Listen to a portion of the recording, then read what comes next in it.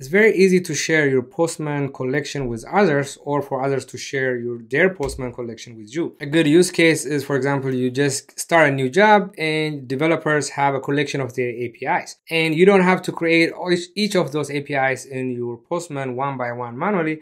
They can export their APIs and you can just import the API. So I'm going to show you how to do that um, very quickly in Postman. So here I got a bunch of uh, collections here and with my students we use this WooCommerce collection. So when we look at this WooCommerce collection, there's a lot of APIs, right? For the students to have to enter each one of those individually is going to take a lot of time. So all I'm going to do is I'm going to click on these three dots, scroll down and going to do export and just going to leave everything default collection v2 and I'm going to do export and that's going to create a JSON file and it's going to save it into my default location download. So i'm just going to do save.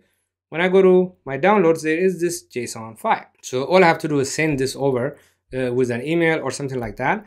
And then the let's assume the student just downloads it or my partner or my colleague downloads it. So to import it you just go open to postman again.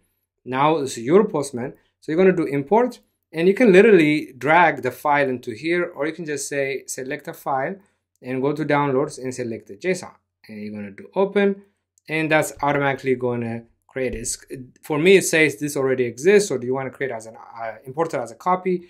Import as a copy and is literally just imported everything as a copy. Now, the only thing you need to create to be able to use it is you do have to create the environments, basically the variables, because the collection might be using variables. Let's say if I want to make this create coupon API call, the host name is a variable because I can use a lot of different websites.